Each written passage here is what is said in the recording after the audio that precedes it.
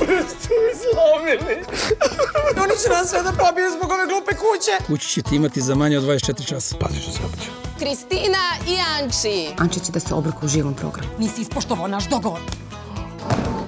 Zašto se mešaš u sve što se mene tiđe? Ja bih priznao tvoje dijete. Gordana, moramo da razgovaramo u četiri oka. Hoće da nas likvidiraju. E to prepušti meni.